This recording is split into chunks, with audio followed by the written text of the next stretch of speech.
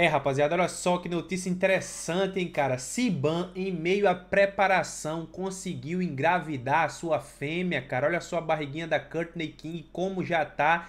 E sim, teremos um Baby Sibum chegando em 2024. Isso abre um precedente enorme e faz principalmente a discussão sobre sua aposentadoria ficar cada vez mais em alta. E é sobre isso que a gente vai discutir nesse vídeo. Além do mais, falaremos do confronto Horse versus Michael Criso, que vai acontecer no Prague Pro no próximo fim de semana. Fechou, galera? Mas antes, deixa um like aí pra mim e não esquece de garantir os maiores e melhores descontos lá na Growth e lá na Meet usando o meu cupom Cupom IK. Quando vocês usam o meu cupom, vocês fortalecem comigo, fortalecem na criação de conteúdo e você também ganha mais descontos em toda a sua compra no site da Growth com toda a linha de suplementação e no site da Meet com as roupas que vão te vestir no estilo, inclusive com coleção nova do Ramon lá, fechou? Falando em Ramon, rapaziada, ele já deixou o comentário dele aqui, ó, dando os parabéns, né, pro Siban. Vamos dar uma curtida aqui no comentário do Ramon. E, cara, é isso mesmo. Baby Boom Coming 2024, rapaziada. Gastando meu inglês aqui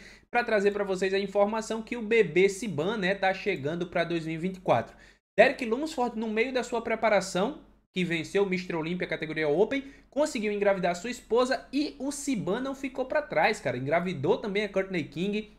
Já anunciaram aqui no Instagram, já fizeram umas belas fotos e ao que tudo indica, né, a Courtney já tá com uns meses aí, cara, porque olha só, a Courtney é uma magrinha, né, ela não é, não, não é forte e tal, ela tem aquele perfil mais mais slim e ela já tá com a barriguinha bem para frente, cara. Então isso significa que a gravidez já tá num andamento bem legal e muito provavelmente aí eu acho que nos próximos seis meses a gente já deve ter o Baby Siban chegando, né? E, cara, tomando conta da vida do Siban. Quem acompanha o Siban sabe que família sempre foi aí o ponto-chave do Sibum.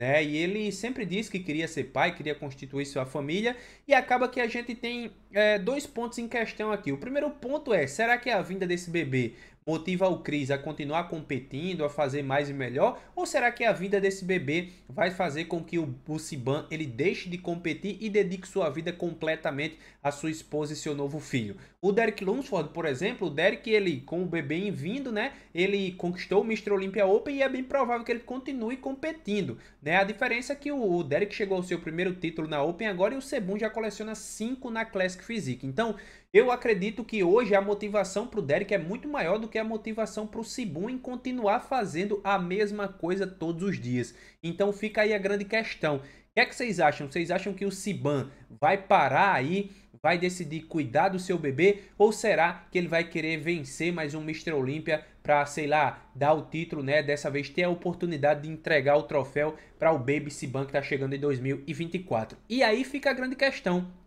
Se o Sebum realmente é, resolve parar, cara, a gente pode estar diante de um primeiro BR homem conquistando o título do Olímpia. Agora, eu preciso ressaltar um grande ponto aqui para vocês que eu já falei em vídeos anteriores. O Siban, cara, essa preparação que ele fez agora foi uma preparação muito tranquila, né? Quem acompanhou o Siban, é, do começo do ano até junho, julho, o Siban só tava viajando aí pelo mundo. Viajava, viajava, fazendo treino adaptado e tudo mais. Então, assim, quando que nasce a bebê do Sibum, o bebê do Sibum? Será que nasce entre junho e julho? Se caso for, provavelmente ele tem tempo aí para se preparar até o Olímpia. Lembrando que o Olímpia esse ano, vai, ano que vem, no caso vai ser em outubro, né? Então é um mês a menos. Então assim, cara, sinceramente, eu acho foda isso, mas eu não acho que o Sebum vai não.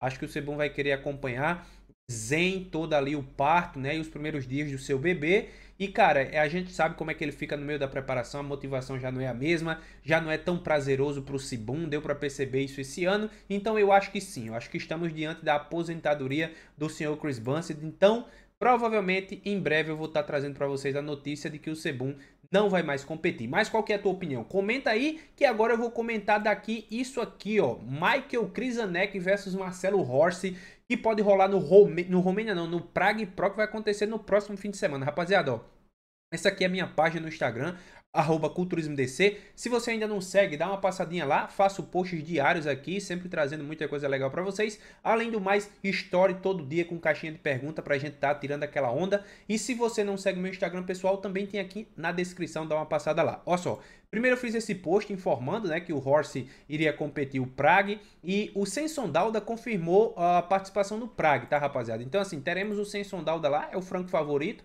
vem de uma vitória, campeão do Arnold Classic, top 3 do Mr. Olympia, é inegável que ele chega como favorito. E para além dele do Horse, também teremos aí o Michael Krizanek, que já está confirmado nesse show, já está inclusive aí uh, no line-up, tá? E aí o Horse chega com muita força, né? Depois desse top 3 aí no Romênia, de, superando inclusive o Nathan Diasha. Detalhe, o Nathan Diasha também vai para esse show, então teremos essa revanche.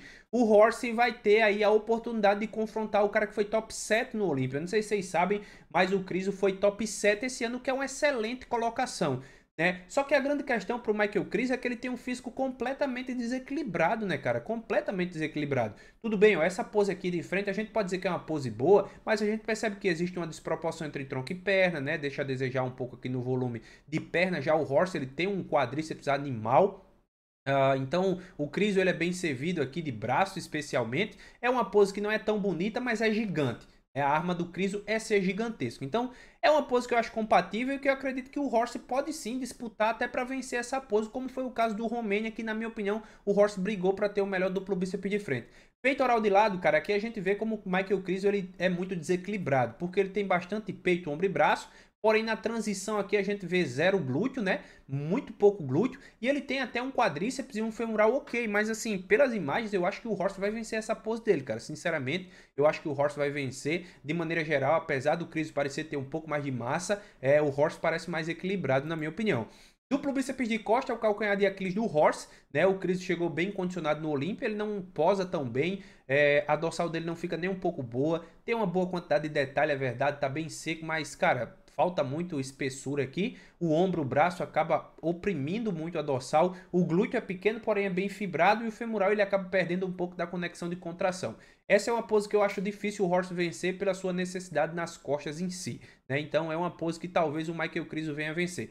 Tríceps de lado é a mesma situação do peito de lado. Né? Aqui eu acho que o Horst é, é, tem condições de vencer mais uma vez. O nível de condição que o Horst levou aqui para o Romênia deixa o oblíquo dele muito doido. A proporção de quadríceps glúteo femoral do Horst para mim é bem melhor. Então, cara, eu acho que o Horst também pode vencer essa pose aqui de tríceps de lado. Outra pose que eu acho que o Horst pode vencer ao contrário do back double bicep, é a expansão dorsal. A expansão dorsal do horse é espetacular e eu acho que nessa pose o horse tem condições de vencer, bem como no abdominais e coxa. Ou seja, a gente está diante de um duplo bíceps de frente, que para mim o horse pode, pode vencer, a gente vai ter expansão de frente, que para mim também o Horse pode vencer, mas eu não considero uma pose tão forte dos dois. Acho que o Horse precisa melhorar um pouco nessa pose ainda. Aí a gente tem peitoral de lado que eu acho que o Horse vence, então de certeza de três poses o Horse já venceu duas.